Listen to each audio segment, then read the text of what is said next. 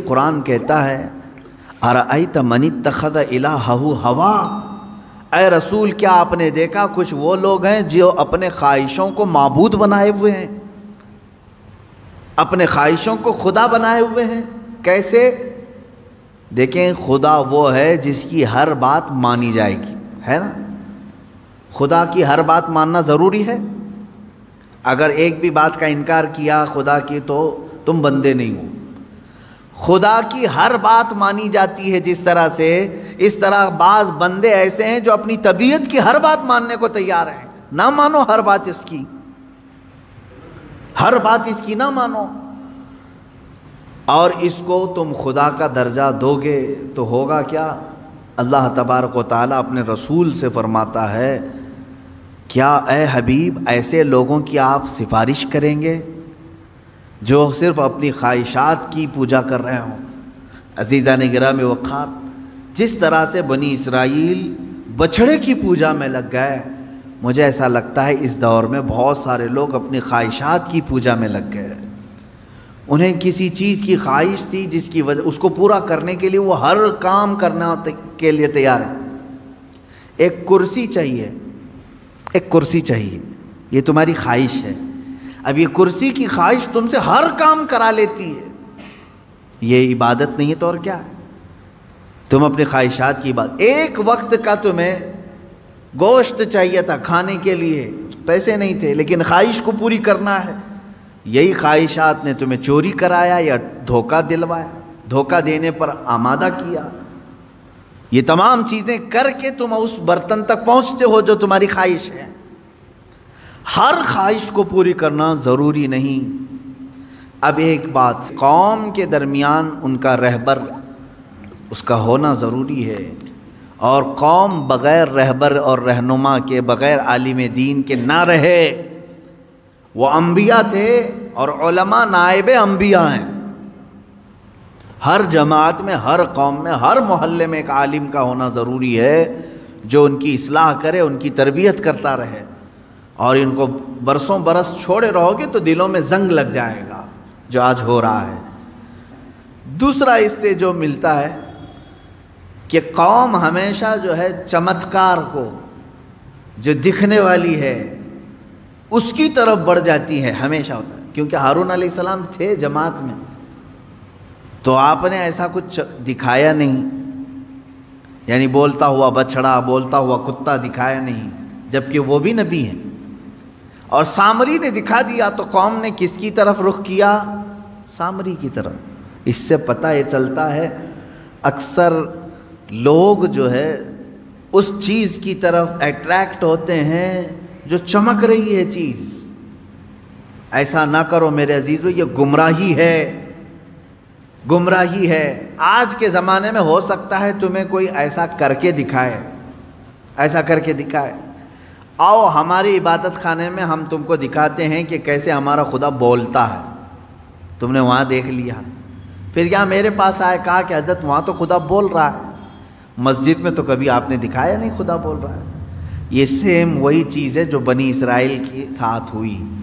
सामरी बछड़े को बुलवा करके दिखाया तो सब शिरक में मुबतला हो गए।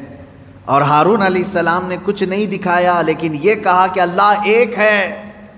तो चंद ईमान वाले कायम रहे, बाकी उधर चले गए। ऐ मेरे अजीज़ों, आज के दौर में अगर कोई इस तरह तुम्हारे अकीदे को ख़रीदे तो किसकी तरफ़ जाओगे? किसकी तरफ़ जाओगे? फॉर एग्ज़ाम्पल चंद साल पहले की बात। शायद मैंने इसको कहा है, दोहरा रहा हूँ। एक साहब आए, पेट के दर्द की शिद्दत थी, उनको तकलीफ़ थी। कई मरतबा आए थे। पानी दम करके भी ले गए, तावीज़ भी ले करके गए। चंद दिनों के बाद बिगड़े हुए तेवर थे उस बंदे के। मुलाकात हुई थी तो पता चला कि पेट का दर्द सही हो गया है। तो मैंने पूछा क्या क्या हालात हैं? कहा कि, बस मैं सब छोड़ दिया, एक जगह जा रहा हूँ, फला जगह। क्या है? कहा, वो एक पूजा करनी रहती है गोबर को रख करके। कहा, कर रहा हूँ। ये कहाँ से आई तुम्हारे अंदर चीज़? उसने कहा, फला बाबा थे उन्होंने एक लिक्विड दिया, पीने के लिए पेट दर्द सही हो गया। कहा, क्या लिक्विड दिया था? कहा, आप बुरा मानेंगे हज़रत। मैंने कहा, क्या चीज़ दिया पीने के लिए? कहा, गाय का पेशाब। कहा, पी लिया तुमने? कहा पिया। पेट की दर्द की शिद्दत थी।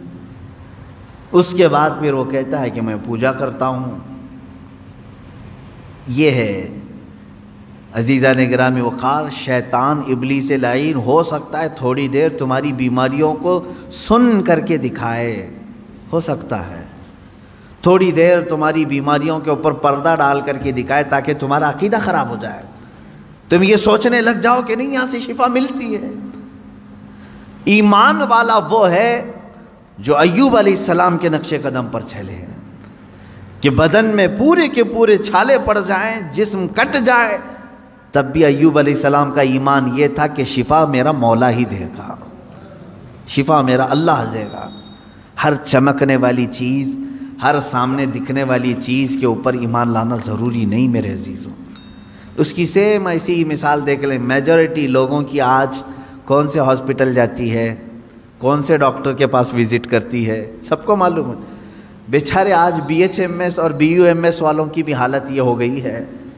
कि वो लोग भी एलोपैथिक ही प्रैक्टिस करना चाहते हैं।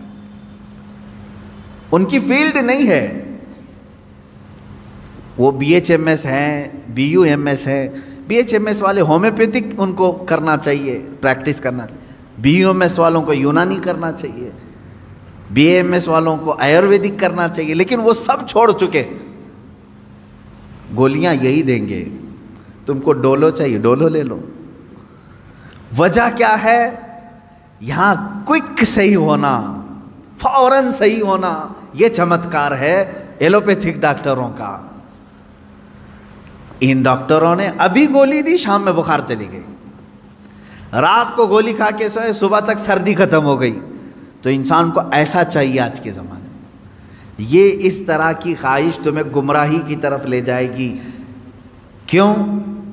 मेरे अजीज़ों, उन्हीं डॉक्टरों से पूछ लेना जिन्होंने आपको फ़ौर सही कर दिया हो, एक दिन में सही कर दिया हो, एक बीमारी को सही करके वो चार बीमारियाँ साइड इफ़ेक्ट में डाल के भेजते हैं। होता है कि नहीं होता मालूम है आपको? हर एक दवा का साइड इफ़ेक्ट है, ये खुद एलोपैथिक पूरा मतलब जो पैनल है, वो खुद कहते हैं। अब होना ये चाहिए, एक डॉक्टर साहब हैं बी यू एम एस हैं, और उसकी थोड़ी बहुत हमें शुद्ध बुद्ध है यूनानी दवाओं की। मेरी उनसे बात हो रही थी, मैंने कहा कि डॉक्टर साहब, ये बहुत अच्छी लाइन है, इसको आप इम्प्रूव करें, इन दवाओं को और लाएँ। तो उन्होंने कहा, क्या करें हज़रत, बात ऐसी है कि हमारा असर देर से दिखाता है और लोगों में उतना सबर नहीं है। वो उसी चीज़ की तरफ़ जाते हैं कि जुम्मा को गोली खाएँ, सनीचर को फिट हो जाए। एक दिन का उनको चाहिए। इसीलिए हमने खुद अपनी लाइन छोड़ दी है, प्रैक्टिस इस पर कर रहे हैं। दवाइयाँ वही दे रहे हैं। अजीज़ा ने गिराम वक़ार, ये चीज़ ज़िंदगी में भी हो रही है हमारे। ज़िंदगी में भी। बनी इसराइल ने, वहाँ पर दो मामला थे। एक तरफ़ हारून सलाम है, जो कह रहे हैं, अल्लाह एक है, और उसकी बड़ी ताकत है। नहीं मान रहे थे इनकी बात। किसकी तरफ़ गए वो सामरी की तरफ़, क्योंकि वो दिखा रहा था। बछड़े को बोलने के काबिल बना करके लोगों के सामने लाइफ दिखा रहा था। उसकी तरफ़ चले गए। इसका मतलब यह हुआ कि हर लाइफ दिखने वाली चीज़ हकीकत नहीं होती। ईमान को अपने संभालो, ये बातें मैं इसलिए कर रहा हूँ, अनकरीब दज्जाल के ज़माने का, आने का ज़माना करीब आ चुका है। दज्जाल के आने का ज़माना अनकरीब है। वो इससे भी बड़े चमत्कार दिखाएगा, तब आप क्या करेंगे? उसे खुदा कह देंगे। वो ज़मीन से सब्ज़े उगा कर दिखाएगा, बारिश बरसा कर दिखाएगा, किसी मुर्दे को ज़िंदा करके दिखा देगा। ये इतनी बड़ी चीज़ें हैं कि लोगों का अकीदा डावाडोल हो जाएगा। इसलिए मैं कह रहा हूँ कि अभी से ईमान इतना मज़बूत रखो, मैंने अल्लाह को देखा नहीं, अल्लाह है। और मेरे नबी ने फरमाया, वो एक है, मैं एक ही खुदा मानता हूँ। और उस सबसे बड़ा ताकत वाला है, वो भी मैं तस्लीम करता हूँ। ये अकीदे ऐसे हैं जो गायबाना तौर पर तुम्हें कोई भी ताकत हिला ना सके। थोड़ी सी गोलियाँ तुम्हें परेशान ना करें। तुम्हारे बच्चों की बीमारी में किसी ने अगर हाथ रख करके सही कर दिया तो उसकी तरफ़ ये ना समझ लो कि यही सबसे बड़ा शिफा खाना है। ना, शिफा अल्लाह ही की तरफ़ से है।